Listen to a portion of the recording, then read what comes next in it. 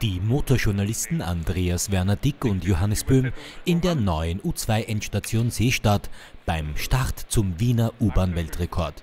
Die Zeit rennt dann, wann die erste Garnitur. Das Ziel? Eine Netzkomplettbefahrung. Alle Linien, alle Stationen, ohne Pause und ohne Unterbrechungen. Angeteilt wird eine Zeit von unter fünf Stunden. Also die Gefühle sind ganz gut. Ich habe mir noch einmal den Plan angeschaut, was wir uns vorgenommen haben und wo wir umsteigen müssen. Das erste Mal umsteigen passiert dann ähm, bei der Endstation von der U2 am Karlsplatz. Da geht es in die U1 und da fahren wir dann Richtung Raumannplatz weiter. Aber ich weiß auch, dass es ein langer Tag werden wird.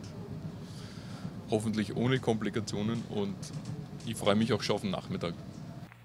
Andreas Werner Dick ist in Wien schon zweimal zur Rekordfahrt angetreten. Nun ist Anfang Oktober das U-Bahn-Netz um 4,2 Kilometer verlängert worden. Daher muss auch eine neue Bestzeit her.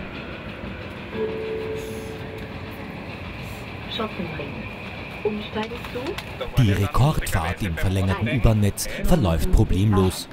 Bis auf eine knapp verpasste U-Bahn in Otterkring und eine wenige Minuten dauernde Betriebsstörung auf der U4 kommen die sportlichen Öffi-Fahrer gut voran. Unterwegs steigen immer wieder Journalisten zu, was die Reise etwas kurzweiliger gestaltet. Andreas, wir sind jetzt in der letzten U-Bahn. Wir haben es fast geschafft. Wie fühlst du dich? Bist du jetzt noch nervös oder hat die Anspannung inzwischen nachgelassen? Die Anspannung hat jetzt nachgelassen, weil es kann eigentlich nichts mehr passieren. Wir haben die schwierigen Umsteigevorgänge gut absolviert. Es ist eigentlich im Großen und Ganzen nichts schief gegangen. Und jetzt hat sich die U-Bahn auch schon geleert, weil dort bei der Seestadt ist ja noch nicht so viel los. Wir haben viel Platz für uns und für unsere Interviews.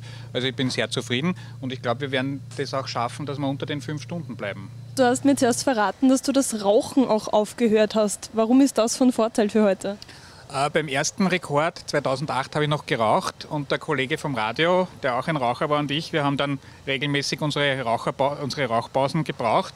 Die fallen jetzt weg, also man ist deutlich schneller unterwegs und gesünder auch. Nach 4 Stunden und 54 Minuten steigen Andreas Werner Dick und Johannes Böhm dann am Ziel wieder in der Seestadt überglücklich aus. Auch Wiener Liniengeschäftsführer Eduard Winter ist vor Ort und gratuliert. Wir freuen uns über diesen spielerischen Zugang zu unserem Verkehrsmittel. Wir können ein bisschen stolz drauf sein. Es muss uns erst einmal wer nachmachen und wir würden die Herausforderung annehmen, wenn jemand sagt, ich kann das noch schneller. Er ist herzlich eingeladen. Und für weitere Rekordversuche ist sowieso gesorgt, denn wir bauen gerade an der U1. Die wird im äh, September 2017 fertig werden und dann planen wir unser Linienkreuz. Das ist noch ein bisschen weiter weg, aber wir haben noch Möglichkeiten, die Rekordversuche zu verlängern.